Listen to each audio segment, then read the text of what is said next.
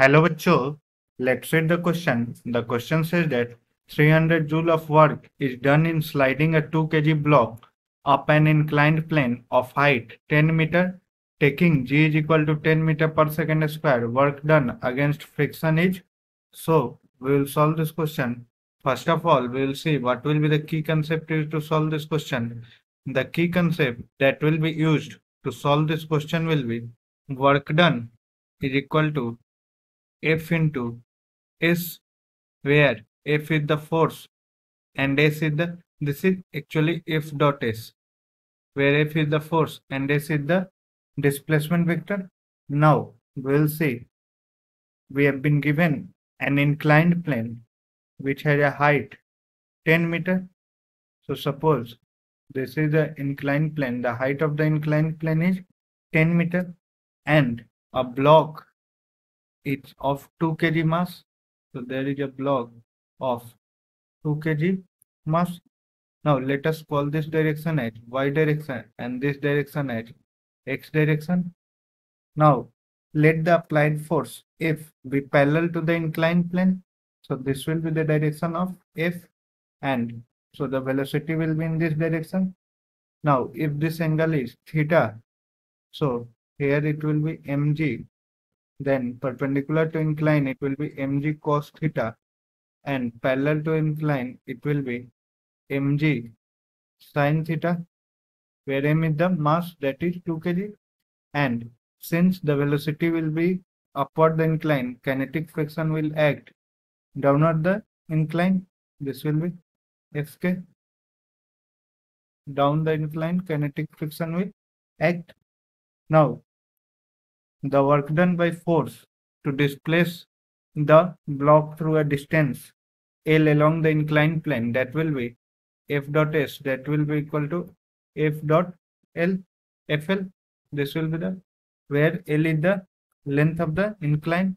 Now if L is the length of the incline suppose this is the triangle right angle triangle this is the L that is length of the incline.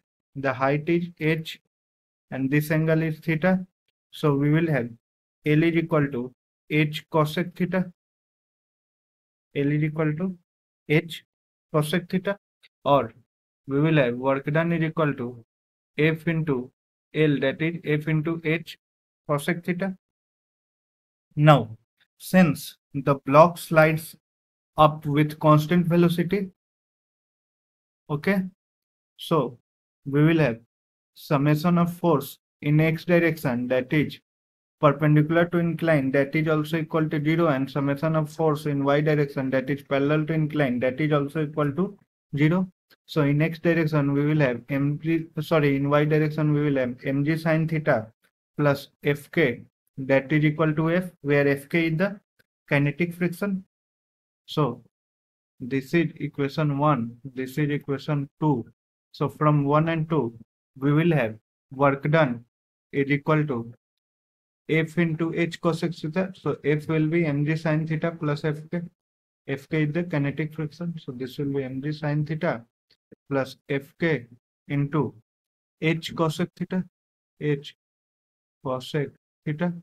So this will be the work done. So on solving this, we will get it as work done is equal to, let us solve it from here work done will be equal to mgh because sine theta into cosec theta will be equal to 1 plus fk into h cosec theta. And this work done is given as 300 joule. So work done against friction that will be work done against friction that will be equal to fk into h cosec theta because this is the friction and this is the distance move. So this will be equal to if fk into h cosec theta is 300 minus mgh. So this will be 300 minus mgh. So that will be 300 minus mass of block is 2 kg. G is 10 meter per second square and h is 10 meter height is given at 10 meter. So this will be equal to 100 joule. So this is work done against friction, which is option B. So the correct option will be option B. Hope you all understood it well. Best of luck.